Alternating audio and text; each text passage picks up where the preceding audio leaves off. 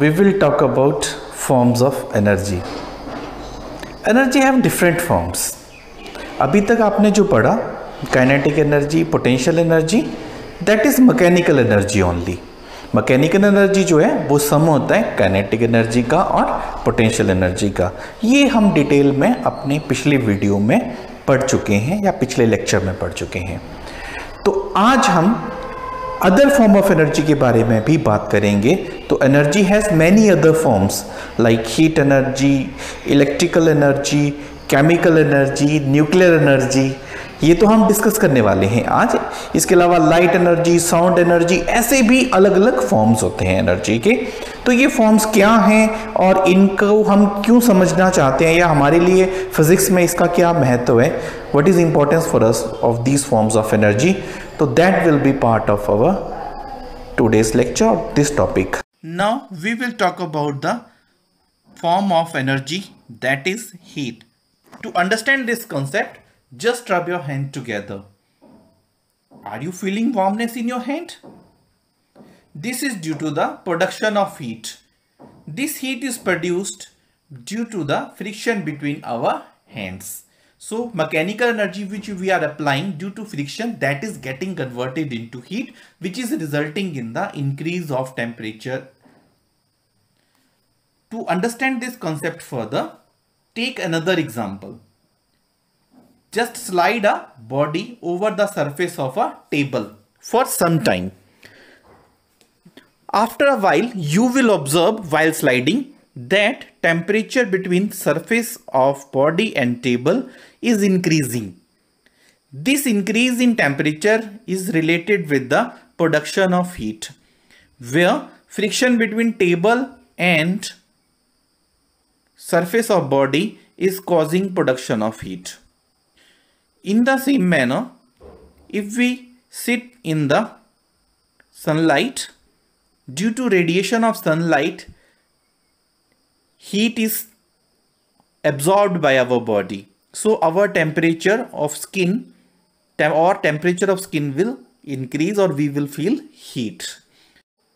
Basically this concept of heat is related to the motion of molecules constituting body. Whenever heat is given to a body the movement of molecules become vigorous or the velocity of their movement increases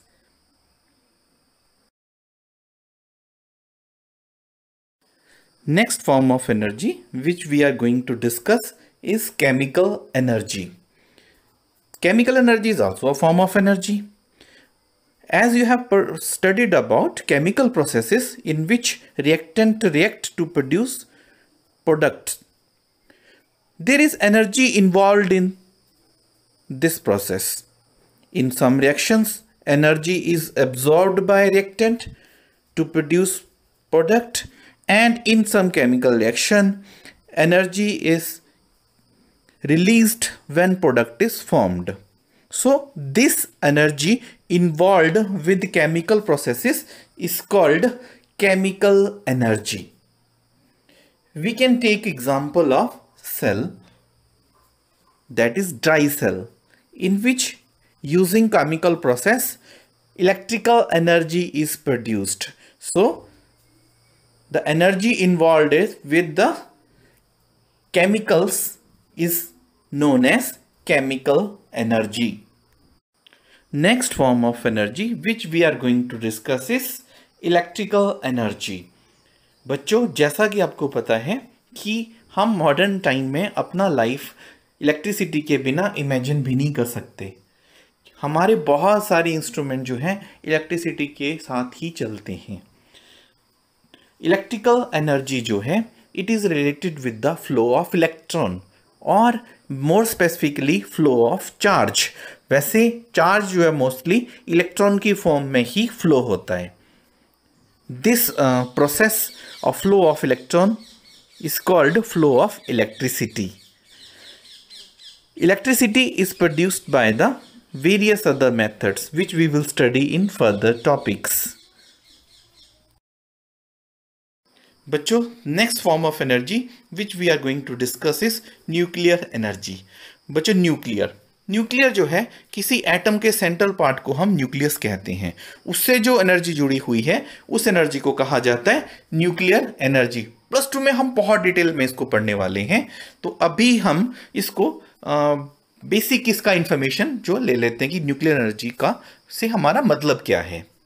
बच्चों nucleus जो है वो atom का वो part है जिसमें उसका ज़्यादातर मास और सारा पॉजिटिव चार्ज उसी में होता है। तो जब न्यूक्लियस में न्यूक्लियस में जो पार्टिकल लाई करते हैं, वो होते हैं प्रोटॉन और न्यूट्रॉन प्रोटॉन पे होता है पॉजिटिव चार्ज और न्यूट्रॉन जो है न्यूट्रल होता है और उनका लगभग मास जो है वो इक्वल होता है, लगभग इक्वल होता है। अब ये जो न्यूक्लियस है, कुछ रिएक्शंस में न्यूक्लियर रिएक्शंस में, जिसको कि हम न्यूक्लियर फिजन रिएक्शन बोलते हैं बड़ा न्यूक्लियस छोटे न्यूक्लियस में टूटता है जब उसके ऊपर न्यूट्रॉन का बम्बारमेंट करते हैं। उस प्रोसेस में बहुत ज़्यादा अमाउंट ऑफ़ एनर्जी निकलता है। तो एटम बम जिसके बारे में आपने बहुत कॉमनली सुन रखा होगा, जो कि वेपन ऑफ़ मास डिस्ट्रक्शन है वो जो है न्यूक्लियर फिजन प्रोसेस पे ही आधारित है। मतलब इसमें बहुत ज़्यादा एनर्जी इन्वॉल्व रहता है न्यूक्लियर प्रोसेस से। और अभी तो पूरे वर्ल्ड में इतने मास डिस्ट्रक्शन के डिवाइस बन चुके हैं कि वो दुनिया को, पूरी दुनिया को डिस्ट्रॉय कर सकते हैं। पर अगर हम अपने फिजिक्स के इंफॉर्मेशन नॉलेज के हिसाब से बोलें तो there is a huge amount of energy related with the nuclear processes and that energy is called nuclear energy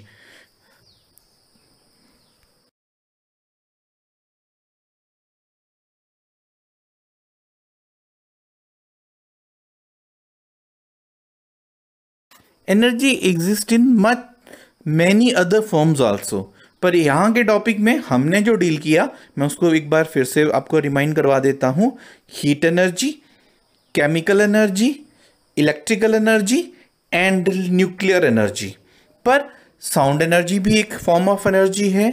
इसके अलावा light energy is also form of energy so there are many forms of energy Now just after this topic we are going to discuss law of conservation of energy which is very common and important law for the physics.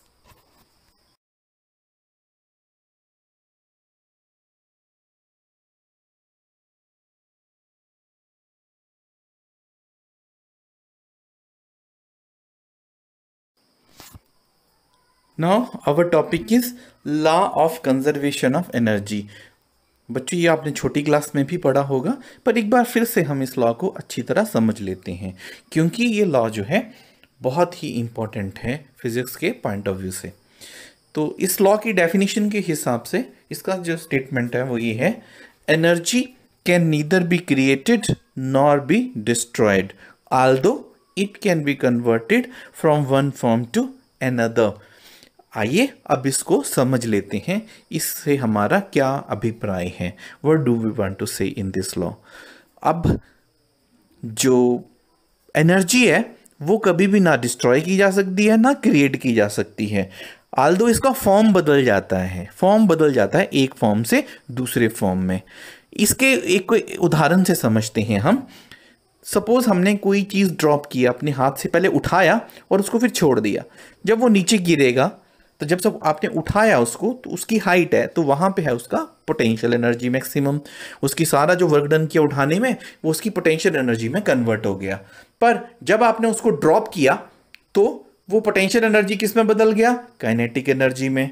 और जो kinetic energy है, वो जब नीचे गिरा तो that got converted into sound energy और some amount of heat is also produced तो तो जो उसका पोटेंशियल एनर्जी था जिस ऑब्जेक्ट को हमने उठाया था, वो किसमें कन्वर्ट हो गया? वो कन्वर्ट हो गया पहले काइनेटिक एनर्जी में, फिर साउंड फाइनली साउंड एनर्जी में। तो जो एनर्जी आपने दिया डस्टर को तो वो ख़त्म नहीं हुआ नीदर वो क्रिएट हुआ है। तो वो हमने मैकेनिकल एनर्जी की मदद से उसको पोटेंशियल वो पोटेंशियल एनर्जी उठाया था, जो वर्क डन किया था, उस वजह से उसमें पोटेंशियल एनर्जी आया था। और वो कन्वर्ट हो गया अदर फॉर्म ऑफ़ एनर्जी में। सेम प्रोसेस हैपन्स एवरीवेयर तो यही प्रोसेस जो है, हर एक जगह यही प्रोसेस होता है। मतलब कोई अदर फॉर्म एनर्जी जैसे पंखे का एग्जांपल लेते हैं। When we switch on the fan that electrical energy get converted into the mechanical energy पंखा जब घूमता है ना तो वो कौन सी एनर्जी में बदल गया इलेक्ट्रिकल एनर्जी मैकेनिकल एनर्जी में। और जो पंखा घूमने के साथ साउंड भी आती है तो वो किसमें बदल गया? साउंड एनर्जी में। उसके साथ जो हवा इन्वॉल्व है, वो भी जो है उसका मोशन हो रहा है तो दैट इज़ मैकेनिकल और काइनेटिक एनर्जी तो यहाँ पे different form of energy convert हो जा रही हैं. अब अगर आप विंड मिल का एग्ज़ाम्पल लें तो विंड मिल में मूविंग एयर जो है तो एयर का जो काइनेटिक एनर्जी है, वो इलेक्ट्रिकल एनर्जी में कन्वर्ट करते हैं हम उसको, उससे इलेक्ट्रिसिटी प्रोड्यूस करते हैं. सनलाइट की जो पड़ती है सोलर पैनल पे तो जो सोलर पैनल पे रेडिएशन है सनलाइट की, वो कन्वर्ट किसमें हो जाती हैं? वो कन्वर्ट हो जाती हैं इलेक्ट्रिकल एनर्जी में। That electrical energy is converted into various other forms उसको हम फर्दर अनदर फॉर्म्स में कन्वर्ट कर देते हैं। तो बच्चों, ये है हमारा law of conservation of energy तो बच्चों आई होप आपका आज का लेक्चर आपको समझ आ गया होगा अच्छी तरह। और आपको फर्दर भी ऐसे क्लास प्लस वन क्लास के फिजिक्स के वीडियो या फिजिक्स के टॉपिक के रिलेटेड वीडियो देखते रहना है तो don't forget to like share and subscribe my channel physics by physics by Munish Sharma thanks for watching